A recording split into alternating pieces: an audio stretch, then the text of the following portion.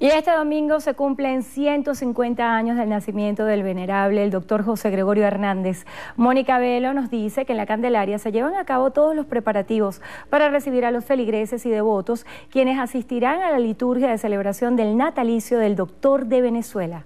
A paso acelerado trabajan ingenieros y obreros para que la iglesia de la Candelaria quede impecable y así recibir a los cientos de feligreses que este domingo se unirán en la cadena de oración que al unísono se llevará a cabo en todo el país por la pronta beatificación de quien fuera en vida, un doctor por devoción y admirado por todos quienes lo conocieron. Debemos pedir a Dios la beatificación de José Gregorio Hernández y el domingo en todas las misas que se van a celebrar aquí, en la iglesia de la Candelaria y en toda Venezuela se va a pedir a Dios esa gracia. La programación del domingo está lista para que todos quienes quieran celebrar el natalicio de José Gregorio Hernández asistan a la Candelaria para orar y elevar su voz de súplica. Va a haber misas desde las 8 de la mañana, a las 12 del día va a celebrar el señor cardenal Yurosa Sabino, arzobispo de Caracas. A las 5 y media va a cerrar las misas del día el señor nuncio apostólico, Monseñor Aldo Giordano. Yo celebraría a las 4 y media como vicepostulador.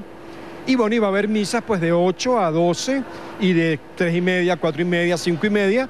Y, y todo el día, pues por supuesto, una cadena de oración y de súplica a Dios nuestro Señor por esta intención.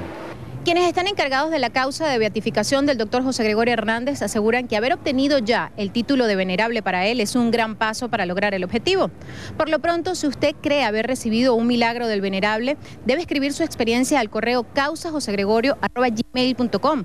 Allí recibirán su testimonio y podrá colaborar con la causa de beatificación. Desde la esquina de Amadores en La Pastora, Mónica Velo, Noticiero Benevisión.